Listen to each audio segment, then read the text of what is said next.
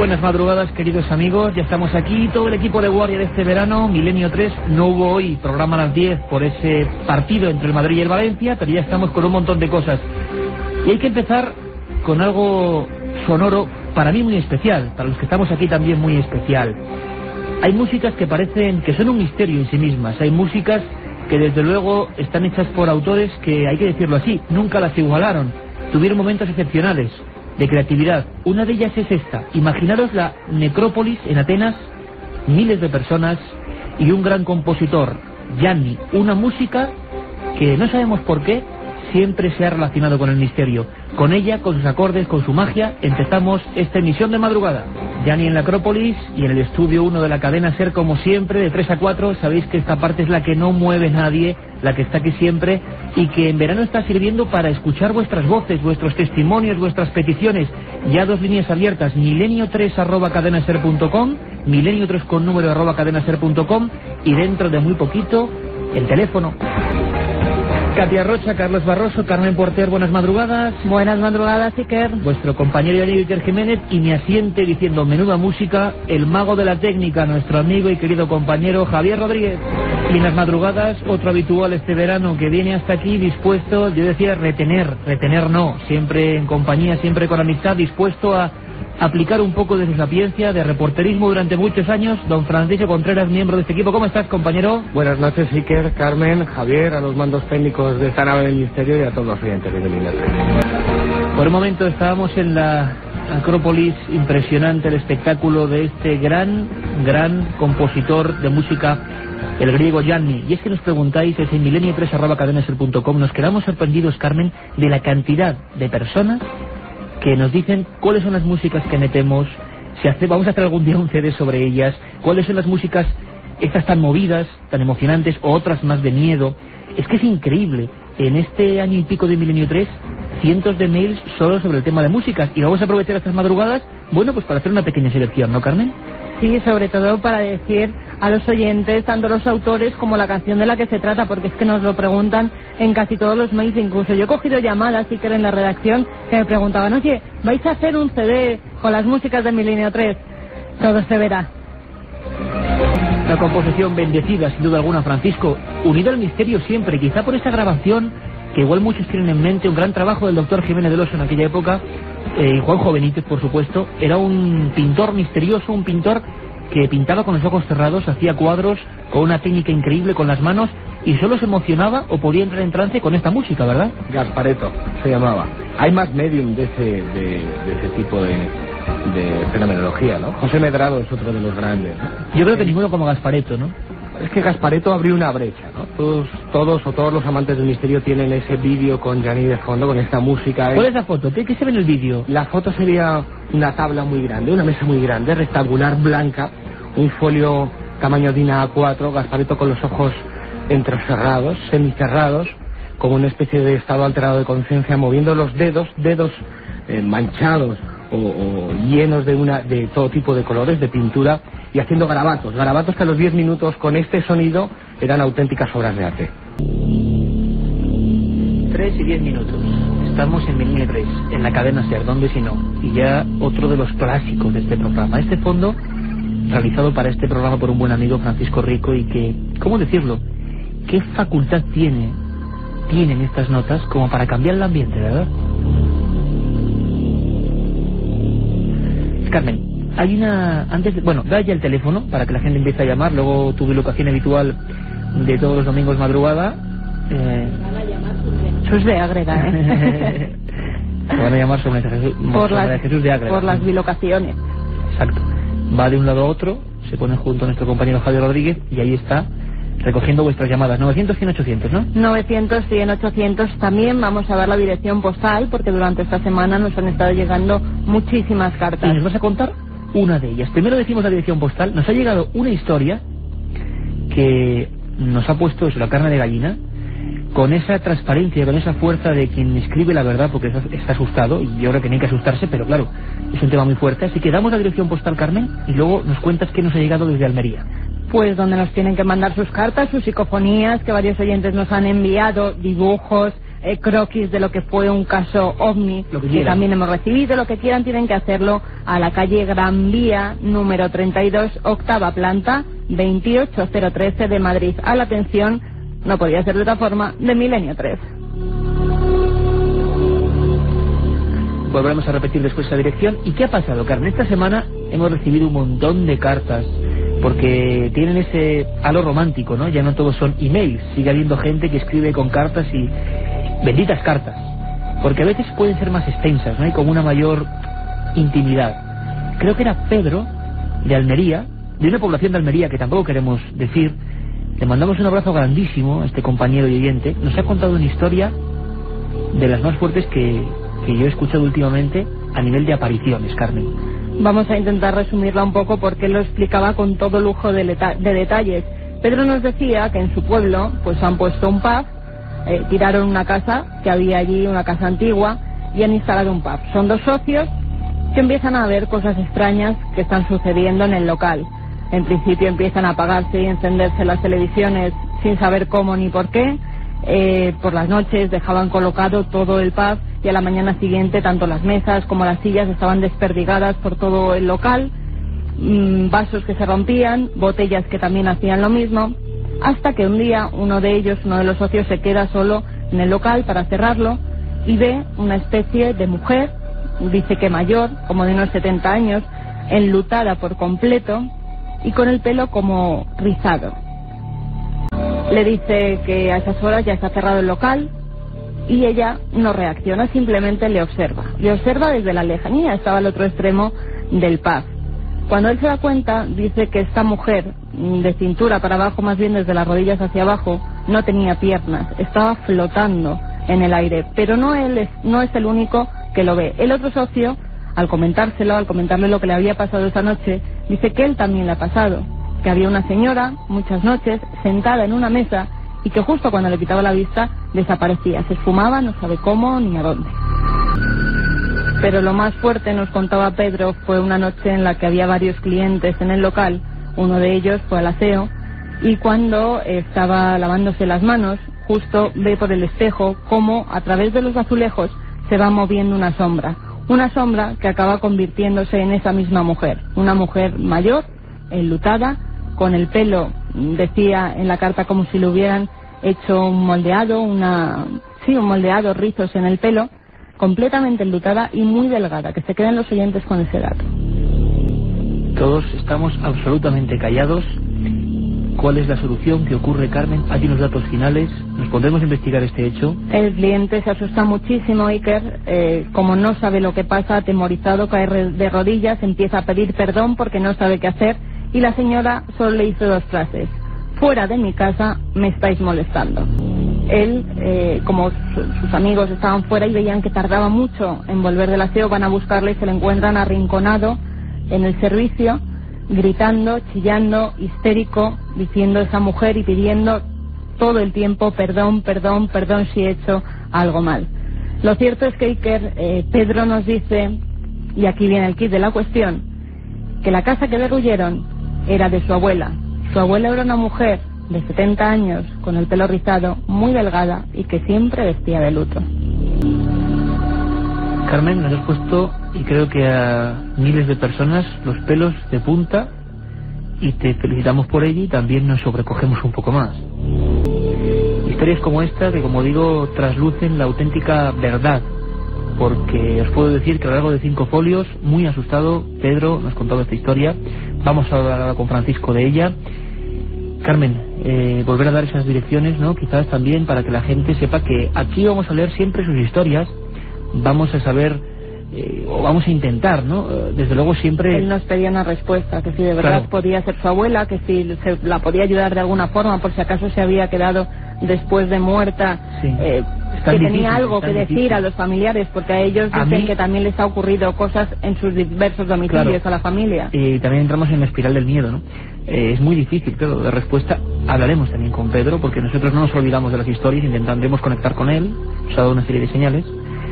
Pero también es como ejemplo, aparte de que esta historia es un poco cruda y fuerte y muy viva, muy fotográfica, ¿no? Tal y como lo ha contado más magníficamente Carmen, eh, está pasando ahora mismo, no es un hecho de, de, otro tiempo, está pasando ahora, a raíz de mayo. Carmen, esa dirección, para que la gente, por favor, si tiene historias como estas, casos aunque sean del pasado que se han ocurrido a ellos o a familiares o conozcan los lugares, nos escriban.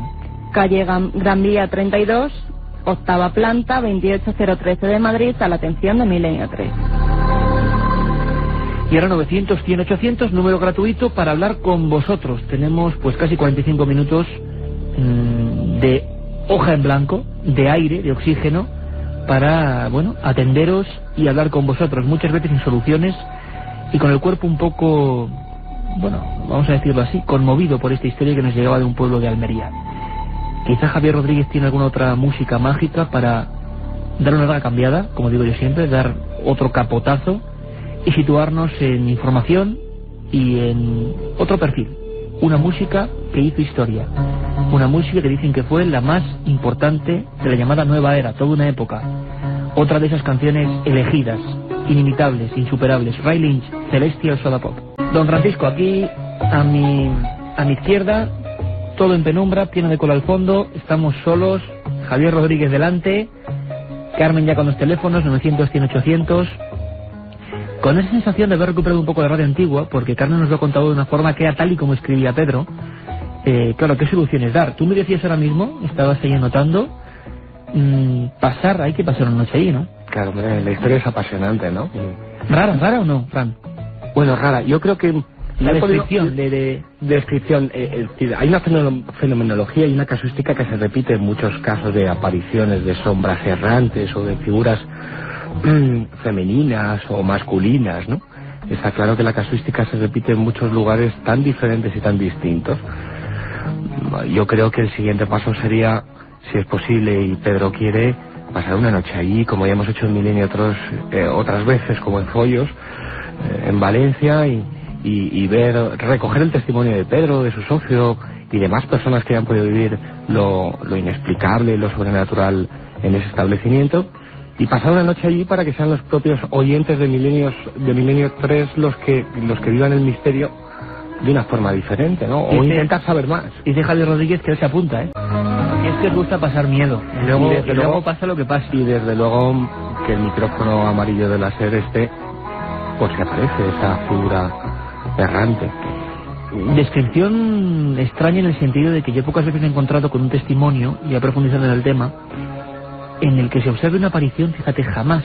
Algo, algo había escuchado en las urdes, a la que vuelvo a mandar un abrazo muy grande, porque quizá ya no se me entendió al final del programa, me refería a esos incendios que han arrasado, ¿no? Esa, esa región maravillosa donde también queremos estar. En las urdes hubo una casa también de mancha y de figura, pero eso de unos azulejos, imaginemos la escena, por favor, unos azulejos, tú estás en el aseo y por el espejo atrás ves que esa especie de sombra se acaba transformando en una mujer. Una mujer que además es un dato que, que se ha olvidado a Carmen al final, había muerto en su último día haciéndose la permanente en la peluquería. Curiosísimo, ¿no? Es decir, eh, había rasgos, lo de siempre, Francisco, y lo más duro, yo intento quitarle hierro al asunto en el sentido, claro, es una historia dura, es una historia fuerte, es una historia que estoy seguro que los que estén durmiendo, estén de viaje, les ha impactado. Y también la gente se engancha a estas cosas, al misterio. Somos humanos y, tenemos esta sensación de que nos atrae algo de ese otro lado. Pero, ¿qué se le puede decir? Yo siempre en el aspecto positivo, ¿no? No hay que tener miedo, claro. Que, esté tranquilo, ¿no? Y que, claro, pero es, fácil decirlo, cuando no te está pasando en tu casa. Que pero quizás, que no hicieron algunas pruebas o no, no, mejor que ellos no, hagan nada, ¿no? Que no se sugestionen, que se lo tomen con la máxima o con normalidad que puedan y que no, no, no, que no se sugestionen, ¿no? Que no empiecen a ver fantasmas donde no los hay. Claro, porque empiezan a haber explicaciones. Seguro, seguro, seguro. Hombre, puede haber un montón de explicaciones. La más lógica y plausible es que se trate de algún tipo de alucinación, cosa que ya descarto porque no hay un testigo, hay muchos, ¿no? No hay una historia colectiva. Desde luego sí que me gustaría... Tú hiciste además el, libro Casas Encantadas, Crónica del Siglo del Misterio Casas encantadas y no había casos tampoco. Había algunos parecidos, pero no tan parecidos. Hay, dos o tres casos muy espectaculares, ¿no? Ahora se me viene a la mente el caso de la Diputación de Granada, ¿no? Con ese retrato robot del eh, padre Benito que ve Juan Burgos en aquella noche de diciembre de 1986 que sale de un muro, ¿no? Y como después de que Juan Burgos, el presidente del Grupo Omega de Investigaciones Paranormales, aparición, hace un retrato robot con diferentes periodistas del periódico Ideal de Granada y empiezan a recibir cartas en el rotativo identificando a ese ser fantasmal. Exacto. Cuando hicimos el especial Casas Encantadas me decías que qué tenían de especial las Casas Encantadas. Y yo te dije que tú puedes investigar ovnis, luces no identificadas en el cielo, y tienes documentos y testimonios de artefactos voladores, pueden ser prototipos, pueden ser, vete tú a saber. Investigabas antiguas civilizaciones y buceabas en los enigmas y misterios de la historia, del pasado, ¿no? del ser humano, así como de sectas o de otros misterios. Lo más terrible de las casas encantadas es que te, te puedes encontrar con, con algo fuera de lo normal, ¿no? con lo trascendente. Esto es Milenio 3, 0323 horas, número Capicúa, si no contamos el cero de Capicúa, no, pero bueno, casi casi. la verdad es que estamos eh, en un ambiente absolutamente no tenso, pero sí lo que es el misterio, lo que es el auténtico misterio. Cuando yo lo intentaba reproducir hace una semana cuando aquí recreábamos África, ¿no? Con Fernando y con José Manuel Novoa, eh, yo no sé, y esto sí que es algo digno de estudiar, Francisco, ahora mismo pasamos con vosotros, no os preocupéis, el 900, 100, 800, están ya varios amigos esperando, pero ¿por qué ocurre siempre lo mismo? Cuando alguien se junta, cuenta una serie de historias, cuando alguna es certera y es real, se genera un, un nexo, algo que estoy seguro que no será físico, pero sí emotivo, que hace que estoy seguro que ahora mismo todos nos sintamos un poco hilados a través del micro, delante y detrás del micrófono, y eso es el misterio, hay historias que nos llegan muy hondo, ¿por qué? Esa es su magia. Y vamos a ver si tiene historias, sugerencias, planteamientos, críticas, lo que sea. María José desde Madrid. María José, buenas madrugadas, amiga. Hola, buenas madrugadas. Cuéntanos, María José. Pues mira, yo llamaba para, para deciros que, el día 31 de julio están en un pueblecito de Ávila que se llama 20. Pues vimos una cosita rara en el cielo. Entonces mi marido cogió la cámara de vídeo y grabó. Y entonces sale en el vídeo como una linterna que se mueve, desaparece, aparece luego vuelve a aparecer y entonces lo enfocó y es como, como si fuera a explotar y se retirara. O sea, yo me gustaría que lo vierais vosotros porque mm, oí un programa cuando vine donde decís que en septiembre ibais a hacer un estudio de ovnis. Sí, sí. Y entonces me gustaría que, que lo vierais y me dijerais. Esto ocurrió este 31 de julio, ¿no, eh, María José? Sería muy interesante además en la dirección si podéis hacernos una copia para analizarla profundamente además y con todo el rigor y la confidencialidad, por supuesto, de contáis de nuestra parte, pero sí que nos has dado dos detalles, nos has dado dos detalles importantes que creo que va a hacer que te demos no una explicación. ¿Ese efecto se parecía a una especie de ojo o algo que se movía dentro de la esfera, María José? No, no, no, no, era, uno, era como, ¿cómo te diría? Como, como muchos mm, puntos rojos, como si el planeta o lo que fuera, ¿no? Era rojo y fuera a estallar y de repente se volviera otra vez en punto blanco, desaparecía, volvía, hacía como triángulos de puntos, pero de un punto, ¿no? ¿Se movía? ¿Lo que es el objeto en sí se movía o no? ¿O siempre estuvo en la desaparecía de pantalla. Incluso mi marido luego grabó las casitas donde estábamos en el pueblo para ver que, que no era él, ¿no? Ajá. O sea, para que en la, en la cámara viera que no era el que movía. O sea, es que es muy raro. Oye, interesantísimo, María José. Creo que además Francisco tiene algunos apuntes. Nos escuchéis a través del receptor les contamos un par de cosas. Gracias por escucharnos, compañera. A vosotros por hacerlo. Hasta luego. Y es que de alguna forma Francisco está, bueno, yo he recogido muchísimas filmaciones de este tipo. Y hay un efecto que es muy curioso, muy espectacular. Yo me acuerdo de la filmación de Trujillo en el año 96, de Zaragoza en el año 98, año 96 también. Cientos de miles de personas en Zaragoza vieron una cosa parecida y ocurrió que grabaron desde diferentes puntos. Y lo que ocurre es que las cámaras de vídeo, como no podían enfocar algo fijo, estaba demasiado lejano, la impresión que daba es que había círculos concéntricos dentro de la esfera y, que se movían. Y dos moscas, una arriba y una abajo. Entonces sería fundamental que vieran el vídeo que vieran otra vez el vídeo, que vieran si en ese punto luminoso hay una muesca en la parte de arriba, una muesca en la parte de abajo y sobre todo si hay círculos concéntricos, porque seguramente es una deformación del zoom, pero hasta que no se revise el vídeo, que lo manden, que lo manden. Que eso no quiere decir, María José, que eso no quiere decir que no hayáis filmado algo extraño, porque algo está enfocando la cámara. Lo que queremos decir es que el efecto ese que tú dices de puntos y triángulos suele ser un efecto de defracción de la propia cámara al no captar con el zoom automático esa, esa realidad y que muchas veces algún planeta como Venus, como Marte, como tal, ha provocado eh, confusiones, pero lo cierto es que si veis que el objeto se movía, y si tenemos referencia en la filmación, es todo un mundo de las filmaciones OVNI, si vemos que hay referencias físicas, por ejemplo las casas, y que cambia de posición, y que es un objeto gordo, importante, pues ya tendríamos un auténtico ovni a, estudiar. Mira, puedo hacer una prueba, María José, si quieres. Eh, y es que enfoque a un punto luminoso con la misma cámara. A ver Sí, si sale señor. lo mismo. Si le sale lo mismo o algo muy Ahora, parecido, que busque Venus, una estrella, algo importante. un punto, una misma farola Ajá. lejana y que haga que acerque el zoom al máximo y si tiene el mismo efecto ya podemos tener algún tipo de solución. Bueno, clase, clase, clase, bueno, madre mía, cómo estoy. Clase práctica de enfoque y desenfoque ovni. No está mal. Vamos a la otra punta, donde estuvimos además hace bien poco, que bien nos acogieron allí en La Coruña.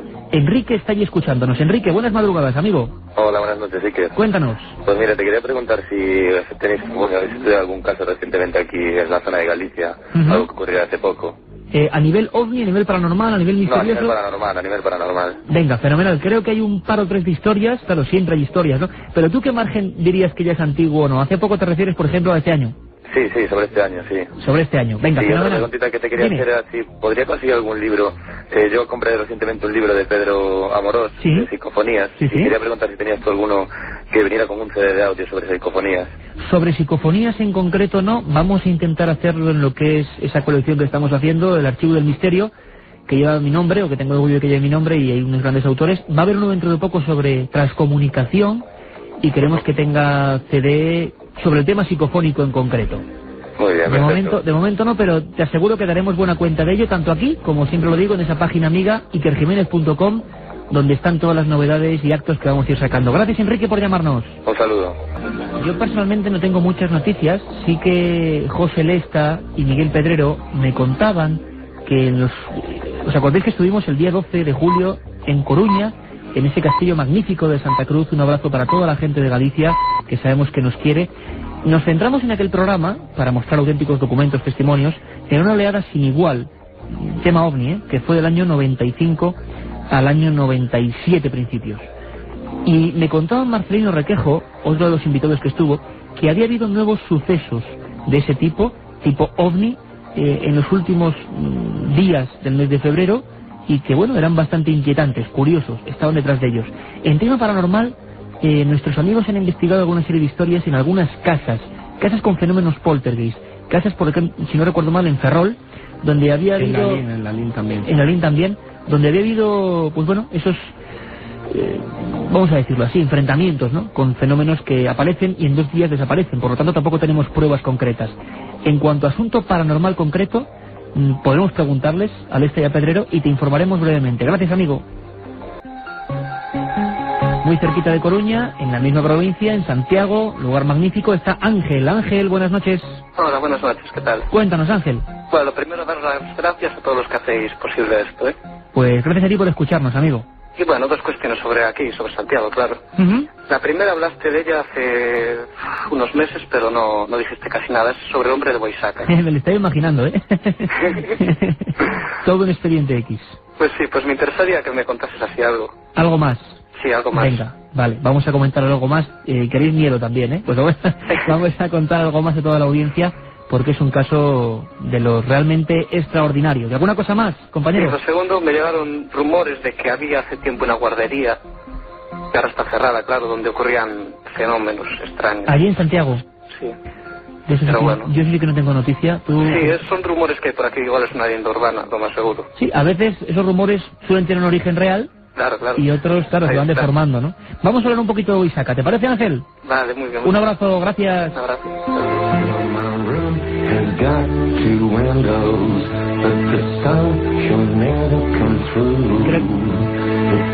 decía Javier Rodríguez que esta era la voz increíble de Hans Zimmer, otro de los clásicos donde los haya, que fue uno de los fundadores y autor de una banda sonora como Rayman o Gladiator, ni más ni menos. Impresionante e increíble. Gente, estamos recordando algunos, que han hecho historia en esto que llaman música extraña, música distinta. Ángel quería saber si algo que ocurría en Santiago, que tenía que ver con una guardería, era real o no. Frank, ¿qué le decimos? Bueno, yo creo que el alma mater de Milenio 3 de este programa son los propios oyentes, ¿no? Y si tenemos algo de lo cual nos sentimos muy orgullosos todos los que hacemos Milenio 3 posible es que ellos son los primeros corresponsales. Así que, Ángel, yo te diría que te pusieras a investigar y que indagases si en esa guardería realmente hay fenómenos extraños, se trata de una leyenda urbana y que lo contara. Y preguntaba también sobre el hombre de Boisaca, ni más ni menos. Eh, sería difícil recrear toda la historia. Vamos a preparar ya en la temporada un programa especial. Y estoy seguro que inquieta porque es la historia de un hombre que el 5 de mayo del 88, si no recuerdo mal, es atropellado por el tren Rías Baixas, muy cerquita de Santiago, concretamente en la zona de Boisaca, cerca del cementerio. Yo creo que recreaba, en la anterior ocasión, hace un par de semanas, la escena de un hombre con cabeza de bastante tamaño que avanzaba hacia el tren con los brazos en cruz que nadie lo había visto eh, por los alrededores, por las inmediaciones, y que dejó una serie de símbolos. Esto no sé si lo conté. Yo recogí esta historia en mi primer libro, Enigmas sin resolver, con todas las fotografías, y una investigación allí que me dejó muy, muy impactado. Me acompañaba en aquella ocasión Lorenzo Fernández, estuvimos hablando con miembros del ayuntamiento. Había una serie, vamos a decirlo así, de negligencias o de enterramiento en el ayuntamiento. Querían ocultar cuanto antes ese cadáver porque era un cadáver raro. Cuando accedimos a las fotografías de ese cadáver nos quedamos helados. La descripción en el creador robot, dientes afilados, gran cabeza, orejas sin circunvoluciones, completamente planas, y sobre todo la sonrisa que lanzó a José Ira Martínez, el conductor del convoy. Es una historia digna de una película, de una película de terror sin duda alguna, porque nadie reclamó el cuerpo. Es el único caso de este tipo y hay que decir que la Policía de Santiago, a la que mandamos un gran abrazo también, tenía el orgullo de contar con gente como Gregorio eh, Antolín Doval, perdón, Antolín que era la policía de Europa que a nivel de estadística más casos de este tipo, de niños salvajes y tal, había resuelto. Bueno, pues este caso sigue pendiente. Eh, es tan increíble que haremos un caso o un suceso o un informe especial. El ser de Boisaca, con todo lo que pudimos saber y lo que todavía no hemos logrado saber sobre esta historia intrigante. Tenemos ya a José Luis desde Cádiz, de punta a punta de España. José Luis, buenas noches. Hola, buenas noches. Cuéntanos. Mira, yo quisiera hacer dos consultitas. Venga, vamos con ellas. Eh, Venga, la primera es que una experiencia que tuve yo, a ver si ha habido algún oyente que le ha pasado lo mismo o algo. Ujú. Es que estaba yo durmiendo, ¿no? Y me levanté, jinja, pero ya estaba, ya notaba yo que estaba despierto. Y me quise levantar de la cama y noté como una presión muy grande, muy grande encima, que es que no me podía mover de la cama, no me podía ni levantar. Como Pero- si alguien te presionara, ¿no? Exactamente, pero bastante presión, vamos, que no me podía ni mover. Sí. Y yo sabía exactamente que estaba despierto, vamos, no estaba dormido ni nada. Y te angustiaste, claro. Sí, sí, es que me noté, digo, a ver si hay alguien que le ha pasado lo mismo o algo. Eh, yo te, te aclaro ya, José Luis, científicamente explicable y más común de lo que te crees, ¿eh? Y no es nada extraño ni nada raro, ¿eh? Ah, pues... Cuéntanos la segunda y ahora te respondemos a través de la radio. La segunda es que yo he oído en revistas y esto que hay aquí cerca de Cádiz hay un cráter gran, grandísimo eh, una en la costa que dice que ahí se ven ovnis entrando y saliendo esferas grandes y este, a ver si exactamente por dónde puede estar. Sí, señor, sí, señor. Ahora mismo te contestamos, José Luis, gracias, un abrazo. Ya, hasta luego. La primera, si me Fran, es una historia que tiene que ver perfectamente, además, eh, estudiado por la psicología. Hace poco hablábamos de los movimientos oculares del ojo humano, que generaba ciertas imágenes a los pies de la cama, por ejemplo. Le llamaban visiones hipnológicas o inapómpicas. No tiene ningún tipo de problema, es algo que nos puede pasar a todos, que no es nada paranormal. Este caso que nos contaba José Luis es terrible en el sentido de que si lo hubiera pasado en la Edad Media, o si yo fuera un inquisidor, le diría que lo que tenía un sucubo o un incubo, es decir, un diablo o diablesa que se le estaba presionando queriendo poseerle. Por favor, estamos en el siglo XXI y la ciencia ha avanzado lo suficiente para saber que este tipo de angustias tienen que ver como cuando sentimos el vértigo en los sueños y parece que nos caemos y nos despertamos como en un túnel que baja, perfectamente explicables, son mecanismos eh, casi de recarga de la energía de nuestro propio cerebro y nuestro propio ser y no hay ningún problema como si vuelves a sufrirlos porque cíclicamente suele pasar ningún problema, ninguna preocupación. Cráter eh, cerca de Algeciras, sí, ¿verdad? Y tenemos ya un buen amigo, Caravaca, que estuvo investigando el hecho. y que tenía mm, noticias frescas al respecto, ¿no? Sobre esas extrañas formaciones geológicas que hay en la bahía y que, bueno, lo curioso de ello es que hay muchísimas personas, ya no solamente el- la, la forma geomagnética del lugar, sino las experiencias que muchas personas han vivido allí, ¿no? Esa entrada y salida de luces en el mar que muchos identifican con los OSNIs, ¿no? Objetos submarinos no identificados. Hace poco hablábamos con los enviados españoles a Irak, los soldados. ¿Tú te acuerdas, Francisco, esa foto de flotilla de ovnis en Cádiz de Jesús Borrego, policía? Hablaremos un día, el estrecho, lo que es el estrecho, merece la pena especialmente con el tema ovni. Hubo un caso clásico como el de Conil, que a través de milenio3.cadenaser.com nos preguntabais por él hace bien poco. Bueno, haremos un programa especial, pero es cierto, hay incluso fotografías. Tendremos aquí al maestro Caravaca y a Luis Mariano, que estuvo con él investigando el asunto, de ese supuesto cráter perfectamente cartografiado en las aguas próximas a lo que es el estrecho. Y nos vamos a otro lugar también con esencia y tradición misteriosa, Sevilla. Ahí está José María. José María, buenas noches. Eh, hola, buenas noches, Iker, buenas noches. Cuéntanos, José María. Eh, Pues mira, yo quisiera deciros que si tenéis alguna, yo que sé, información sobre difuntos que desaparecen de fotografías. Porque tengo ahora mismo en mi mano de una fotografía donde aparecen los padres de mi padre y tres hermanos suyos. Y también mi abuela, que es la madre, bueno, mi bisabuela, la madre de mi padre. Esta señora desaparece de la foto. Tengo la foto auténtica y una copia. Y aparecen todos, es una copia, se ve todo idénticamente igual que en la foto original, menos ella. Aparece en su figura una figura blanca, lo que es su perfil y la figura blanca. La figura blanca, y es una foto muy antigua. Sí, sí, la verdad que sí, podrá llevar, pues, por, eh, tendría mi padre, los hermanos de mi padre aquí eran pequeños, podrá tener 30 años. Es muy curioso, José María, porque sí que hay leyendas urbanas y tradiciones de difuntos que por algún motivo desaparecen de retratos familiares, de retratos de grupo. Y Ajá. también hay tradiciones de, de personas que aparecen donde no estaban, ¿no? Es decir, una un retrato de una familia y aparece, un, por ejemplo, un chiquillo o alguien que había muerto.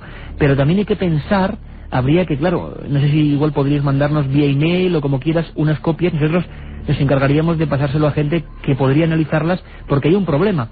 Con determinados tintes que se utilizaban y mm, componentes químicos que se utilizaban para la fijación de las fotos antiguamente, había algunos que se podían pasar más menos y podían evaporar casi o crear una imagen latente en blanco de algunas zonas de la foto. Así que igual, claro, sería mucha circunstancia que solo fuera la silueta de esa mujer, ¿no? Pero podría ser. Sin ver la foto es imposible, no tienes que tener ninguna preocupación, pero si puedes de verdad podías mandarnos una copia y teníamos un informe sobre ello, intentando por lo menos saber un poco más. Ajá, José María, ¿qué entonces, te parece? Yo lo que pasa es que le he preguntado a mi madre, estas fotos estaban guardadas en una mesita de noche antigua de la casa de mi abuelo, ¿Sí? y entonces lo que pasa es que me dice mi madre que esta mujer sí que aparecía en un principio en la foto, lo que sí que se ha ido, se ha ido diluyendo la imagen. Viviendo. Sí, sí, lo que, te, lo que te explico de la fijación, estaría la foto de esa mujer y con el tiempo, si hablamos de 30, 40 años, en una zona quizá que dieron más o menos fijador o emulsión de ese tipo, fue desapareciendo. Sería perfectamente explicable. Lo más raro sería que, por ejemplo, solamente el perfil de esa mujer se hubiera quedado en blanco, como una sombra. Es solamente el de ella. Es solamente el de ella. Solamente el de ella, porque la foto auténtica y la copia, es que la gracia es que desaparece de la auténtica. En la copia, no. Ya. Ha desaparecido de la copia auténtica que se le realizó en aquel entonces. y, José María, ¿y, y hay alguna situación extraña con esa mujer? ¿O es alguien muy especial dentro de la familia? ¿Ocurrió algo con ella? No sé. Eh, ¿Tuvo no, una muerte no. trágica? No, no, murió por naturaleza, murió de mayor y nada. Lo que sí que es verdad es que mi abuela, que ha muerto hace recientemente 30 días, no, 30 días no, 60 días, perdón, dos meses, y terminaba con lo que es idéntica, de mayor eran gemelas, y ella hablaba mucho de su madre. Hablaba mucho de su madre porque en el piso donde nosotros vivimos ocurren cosas, ¿no? Entonces pues ella decía que se le aparecía. Y con el tiempo, pues esta mujer en la foto, pues ya te digo, yo no sé si tendrá algo que ver, pero Curioso, curioso desde luego es, José María. Yo te digo eso, sí, si tú puedes eh, y tienes a bien poder enviarnos una copia... lo que pasa es que no quisiera perderla. Es una No, no, que- de todas formas se podía hacer una copia de la copia sin ningún problema o escanearla o mandarla de algún sitio. Por supuesto, el material original, ese no, ni a nosotros ni a nadie te, te recomendaría. Y nosotros con una copia, con un envío por email o con un escaneo, prácticamente viéndolo con un par de especialistas, te podrían decir y sacarte de dudas. ¿Te parece? Ajá, vale, una cosa ahí que, mire, yo quisiera saber si vais a tratar algún día el tema de la Ouija. Y por otra parte, si se va a indagar más o un poco más en profundidad lo que es el tema de la calle San Luis aquí en Sevilla, que nos tiene a todos tan en vilo. Exactamente, además es que nos preguntáis muchísimo si nuestro compañero José Manuel García Bautista está allí con nuevas informaciones frescas. Que a ver si a final de septiembre, octubre podemos traeros, porque sabéis que nosotros no somos como otros, queremos que cuando demos una información, pues bueno, esté contrastada, ¿no? Y damos todos los datos y podéis opinar vosotros. Bueno, y, y una última cuestión, por Venga, favor. Que María, lo que resulta es que mi hermano tiene grabado una psicofonía en un sitio donde han aparecido restos. Eh, restos de, bueno, de tumbas y cosas así. Arqueológicos, ¿no? Ajá. Entonces mi hermano ve, observa, en la psicofonía eh, aparece una persona, un hombre mayor, una voz de un hombre mayor en la que repite mucho Smalien, pero no sabemos Smalien. Eso lo repite pues cantidad de veces, pero no sabemos porque hemos indagado y no sabemos qué significaría eso. Smalien y hemos por, por todo lo Francisco, ¿te casi todo lo suena que- de algo? ¿Algún nombre? Nada, Lo ¿no? único que te puedo decir es que hay muchísimas grabaciones que no son solamente en castellano, que las Claro, claro. los investigadores que, que conocemos, algunos de ellos han pasado por aquí, han recogido parafonías, psicofonías en multitud de idiomas. Quizás sea un, un- una palabra, un léxico, un término en una lengua extranjera. Habría, habría que intentar averiguar qué, qué, a Bueno, podría... hoy en día es fácil. Desde luego, si miramos en algunos buscadores y miramos en alguna cosa, si sabemos algo, te lo confirmamos. Venga, José. María, un abrazo Vale, fuerte. Gracias. Y a ver si repetir la dirección para poderlo mandar. Ahora mismo lo repetimos. Muchas Gracias. gracias. Hasta luego, Iker. Apasionante las historias de José María, una foto, de verdad que cuando abrimos el micrófono nos encontramos primero con una calidad de gente, que eso no hay más que verlo, que bueno, nos hacéis que nos sintamos orgullosos de este tipo de, audiencia que tenemos. Y segundo, en casos apasionantes. Vamos a ver qué pasa con esa foto. Eh, Gran Vía 32, octava planta, 28013 de Madrid. Gran Vía 32, octava planta, 28013 de Madrid. Programa Milenio 3, cadena SER. Ahí estamos y la Ouija, por supuesto. Un especial y los que hagan falta. Es que llevamos 120 programas y hay tantos temas que no hemos tocado. Miguel desde Mallorca. Miguel, buenas noches. Miguel. Vamos a ver si tenemos a Miguel. Me hace un gesto Carmen. Miguel desde Mallorca, ¿ahora nos escuchas ahora? Sí, me oís. Ahora, perfecto, Miguel. Es que había un Hola. pequeño cruce de, de líneas. Cuéntanos, Miguel. Eh, Bueno, quería preguntar sobre el programa, el programa SETI, que se puede Ajá. descargar de internet y vuestra opinión, y a ver si te pasas eh, algún día por Mallorca. Hombre, ojalá. Un poco por aquí.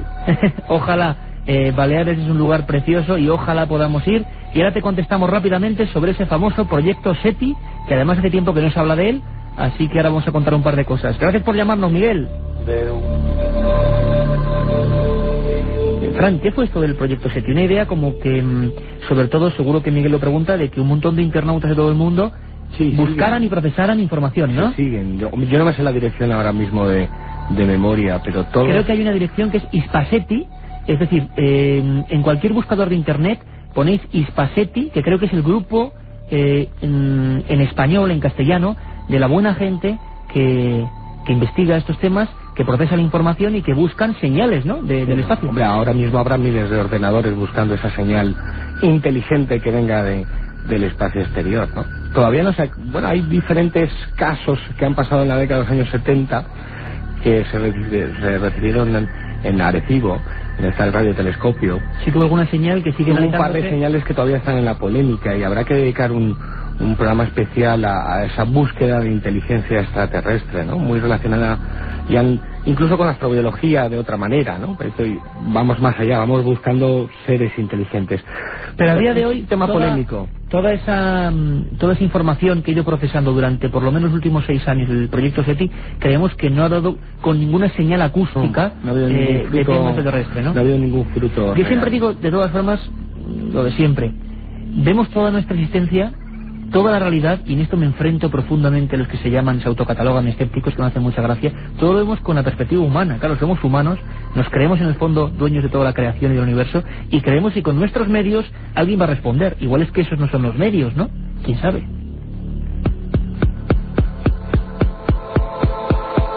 Y fíjate lo que hemos recuperado para ti, Francisco, época del miedo a lo nuclear, increíble.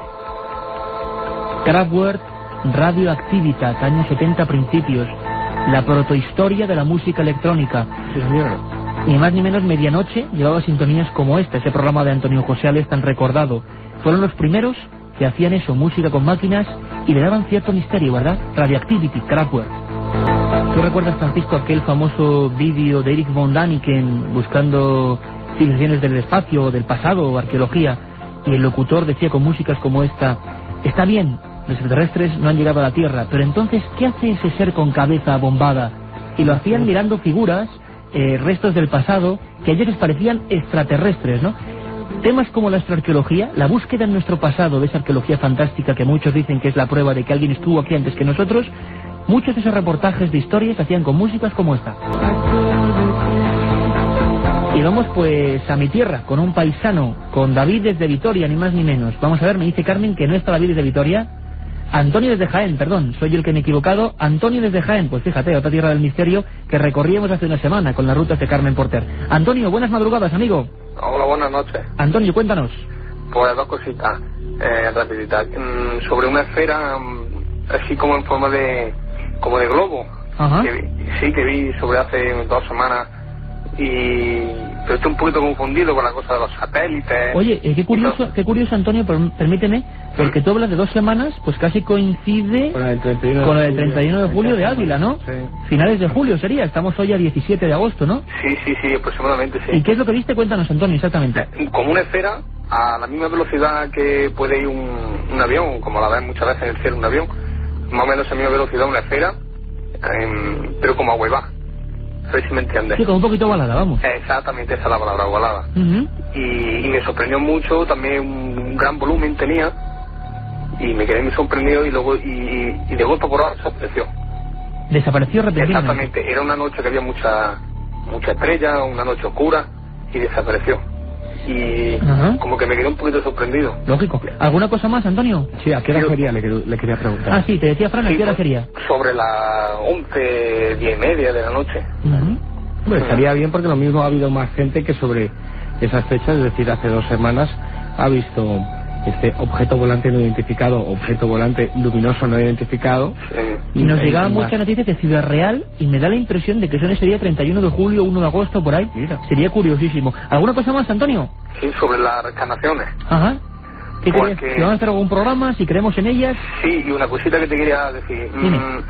Mm, me han dicho, yo no lo sé porque supuestamente me pasa en sueños, Ujú. mm, como que hablo árabe.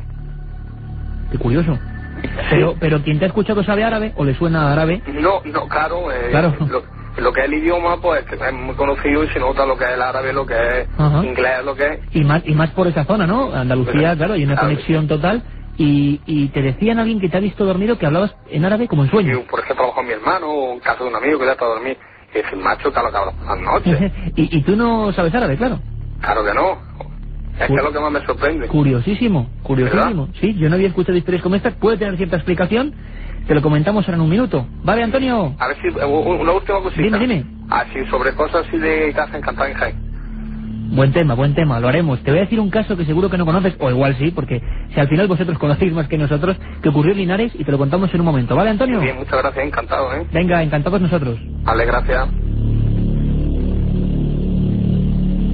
Eh, lo del OVNI, bueno, eh, simplemente cuestión de datos, parece que está ocurriendo algo. Y tú decías, Francisco, me parece muy importante, hace una semana creo, que claro, hay movimientos estelares muy concretos, Marte, eh, que estas fechas son muy complicadas, que tengamos Sí, cuidado también, ¿no? tengo Mientras que- no sea algo muy claro. Tengo que reconocer que me equivoqué porque cuando te dije que la semana pasada Marte era eh, se iba a ver de- y era el momento en que más cerca estaba de la Tierra, mm, que era su error, me equivoqué, es el día 28. Marte está en, el- en la bóveda celeste muy luminoso, es un momento genial y fantástico y al cual le deberíamos dedicar un programa especial Sí, para sí. que mucha gente sepa lo que es el mundo de la ortotecnia Ujú. y lo que los ufólogos, los investigadores OVNI eh, llevaron a- en auge en la, en la década de los Sí, años que 70 decían cuando que- Marte estaba más cerca de la Tierra se producía una mayor casuística de avistamientos ovni y de, y de seres humanoides. Lo haremos. Oye, y lo de la voz en sueños, curiosísimo. Si fuera en vida, es decir, en vida, de decir, si fuera en perfecta vigilia, sería xenoglose, dicen los expertos, ¿no? Eso igual lo podría decir Carmen Porter con sus cosas de la iglesia, que místicos para esto son tremendos. Gente que no tiene ningún conocimiento y hablaba eh, arameo, hablaba en latín. La psiquiatría en su versión más profunda dice que son resortes que tenemos que igual no es árabe, sino una serie de palabras repetidas que tú sí conoces, lo que has oído de árabe, y que te salen en sueños, ¿no? Habría que tener mucho cuidado con eso. Y respecto a la reencarnación, yo soy muy escéptico, porque eso se encuentran muy poquitos casos que te demuestren esa posible realidad. Pero sí hubo un investigador, un, un estudioso que a mí me dejó tocado por sus teorías. Él se llama Patrick Drouot, es francés, Sí, es licenciado en físicas y entrevistamos juntos, ¿te acuerdas? Efectivamente, que eh, él les ponía en una serie de trabajos con una serie de experimentos esa posibilidad. Quizás habrá que, que recuperarlo, ¿no? Para Milenio 3 y para que toda la gente que tenga curiosidad sobre la reencarnación, bueno, pues se les pongan todo tipo de Claro que temas. sí. Y en el tema de Jaén Casas Encantadas, bueno, hay muchas. Eh, vuelvo a recomendar el libro de Patricio Contreras, Casas Encantadas, Crónica de un siglo de misterio y vitorialidad. Y lo más importante, a mí lo que más me impactó, en Jaén hubo un caso tremendo, calle Aníbal, en Linares, uno de los últimos casos donde intervino la policía. Y todo había empezado en un pequeño piso, gente muy joven, haciendo la Ouija. Siempre la misma historia. Uno de los últimos casos con expedientes. Ocurrió allí, en Linares, ni más ni menos. Haremos un programa sobre ello. Y vamos a pasar ya a nuestra última llamada. Sabemos que hay un montón más, siempre se quedan fuera, pero también Carmen tiene que darnos paso a algunos de los mails que habéis mandado. Y creo que ahora sí está mi paisano David desde Vitoria. David, vamos a ver, buenas noches. Buenas noches. Hola David, cuéntanos. Hola, eh, yo quería preguntarte eh, sobre el- la investigación que hayas hecho tú y sobre la cual me has impresionado. O sea, el tema que a mí me has puesto los pelos de punta, vamos, ¿no? Sí. Sí, Venga. Quería preguntarte también eh, sobre las maldiciones de los famosos piratas, estos que echan en las, en las películas, a ver si es un micro o un realidad. Bueno, un tema bonito, un tema interesante. Venga, pues te respondemos rápidamente. David, ¿algo más? Sí, un caso que me pasó hace mucho tiempo, que haciendo Ouija en una especie de, pues de convento o algo pues resulta que salió y se movía el salón. eh,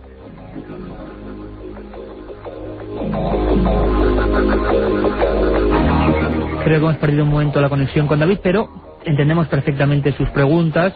Una experiencia de Ouija en un convento. Mal empezamos, ¿no, Fran? Como siempre, por favor, personas susceptibles, miedosas, eh, que no jueguen por jugar con el tablero de Ouija, ¿no? Ese, sí, sí, sí, puede causar muchísimos problemas, no del más allá, entre comillas, sino del más acá relacionados con la mente, ¿no? Así que no juguemos con... Es que es como echar boletos a una lotería que no nos conduce absolutamente a nada. Absoluta- Y no solamente, trae- solamente puede traer problemas, porque además, ¿qué sentido tiene Claro. practicar una noche de un sábado Nada, noche nada, de Ouija? nada. nada. De los piratas hablaremos, de barcos fantasmas, de historias. Sí, sí, hablaremos de historias. Y el caso que a mí me ha impresionado, siempre lo habéis preguntado, es normal. eh, vamos a hacer un día. Os voy a plantear una cosa. Vamos a hacer una serie, una sección, vamos a ver cómo lo haremos, cómo lo mediremos, sobre nuestros casos favoritos. ¿Os parece? Aquellos que nos dieron más miedo. Serían tantos, tan inmensos, tan increíbles, que ahora contar uno nos llevaría todo el programa o lo que queda de él. Así que, mm, David de Vitoria, paisano, nuestros casos favoritos, ya verás cómo sí. ¿Y quién ha escuchado, verdad, estas voces celestiales? Habíamos uno de los últimos grandes clásicos de la música del misterio. Precioso, ¿verdad, Carmen? Precioso, Iker. Rapidísimamente, con un montón de mails, vamos a tener que hacer un programa dentro de poco. eh, ya se acaba la temporada de verano solo sobre mails, porque si no es imposible. Carmen, vamos allá, venga. Solo sobre mails, solo sobre oyentes, porque no da tiempo a meter todos, pero bueno. David nos escribía desde Valencia y nos pregunta sobre qué se esconde detrás de muchas películas de la factoría de Hollywood, en concreto sobre la película Poltergeist, la serie de muertes y accidentes que esconde esta película. Vamos a hacer un programa solo sobre el tema Poltergeist. Hicimos uno sobre el exorcista, películas malditas, Poltergeist con Hitler O'Rourke, esa niñita rubia que, que murió de forma extraña, y más actores, esto lo sabe poca gente, más actores. Se llevan la palma el exorcista, la profecía y Poltergeist. Contaremos por qué. Oscar Santiago Rey nos dice que cuando tuviésemos tiempo realizásemos un programa sobre los misterios del Antiguo Testamento, centrándonos sobre todo en las últimas investigaciones sobre el Arca de la Alianza y sobre todo en el Arca de Noé. ¿Qué te parece, Fran? Interesantísimo porque además se podrá descubrir un, un país y una civilización como es la etíope, donde antiguas tradiciones dicen que se encuentra el Arca de la Alianza. Vicente Pérez, que nos felicitaba el programa que realizamos sobre África, dijo que se enamoró de África, pero la que guarda todos esos misterios. Dice que estudia comunicación y que le gustaría hacer trabajos de investigación y que quiere ir a África justamente desde que hablamos de todos sus misterios. No nos extraña. Un libro sobre África que hable sobre todos los misterios. De verdad, el descubrimiento de las pinturas del Tassili, Henry Lott. Y el que está realizando también Fernando González Fiches, que irá para la colección del misterio de Y si te interesó lo que hablábamos de brujería y temas, y Boga, José Manuel Novoa. Desde Zaragoza, ¿algún fenómeno paranormal ocurrido en esta ciudad? Fran, el duende, Nos ¿no? lo pregunta Alicia. 1935, calle Gastón y Gotor, Duende de Zaragoza. Una historia que va a merecer un solo programa. Y sería imposible, más mails, están todos ahí. Uno que me ha resultado muy curioso, Iker. Venga, ¿Es una leyenda urbana que estudiaste en el colegio Arturo Soria? No, no, es cierto, es cierto, me han escrito varios. Estudié en ese colegio, un abrazo muy fuerte, no era un estudiante prodigio ni mucho menos, al revés. Pero bueno, aquí estamos contando historias y cosas. Un abrazo para todos, compañeros. Un beso. La semana que viene estaréis aquí puntuales, ¿eh? Un abrazo hasta la semana que viene. Venga, el sábado nos escuchamos en este final ya de temporada de verano. Os dejamos con nuestro